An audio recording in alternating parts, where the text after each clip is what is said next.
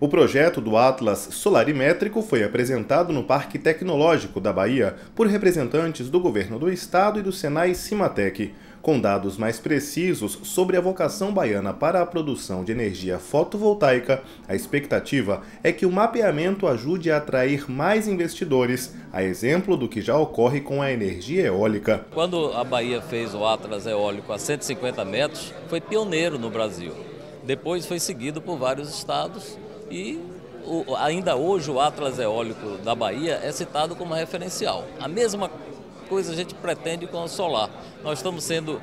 É, existem Atlas, né? porém o que, o que a gente está falando aqui de qualidade da medição, qualidade da informação, exatidão da informação para que o empresariado tome decisão de vir investir na Bahia. Esse é um documento muito importante para incentivar o planejamento e a instalação de empresas de parques solares no estado da Bahia. É, há alguns anos atrás nós fizemos um Atlas eólico que teve um papel fundamental de incentivar o crescimento dessa indústria de renováveis no estado da Bahia. Então a Bahia, esse ano ainda, eu acho que passa para o primeiro estado no Brasil em geração de energia eólica e ah, nós estamos é, fazendo o mesmo para a área de energia solar.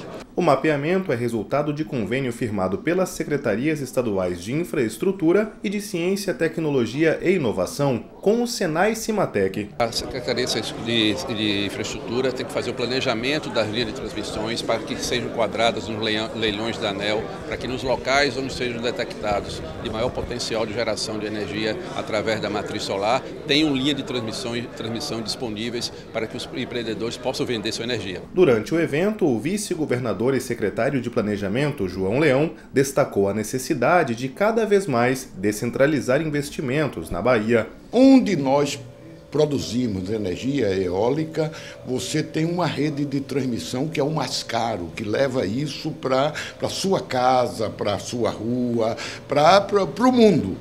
E agora nós precisamos fazer com que, debaixo dessas redes, junto dessas redes, ao lado das hidrelétricas, nós tenhamos energia solar.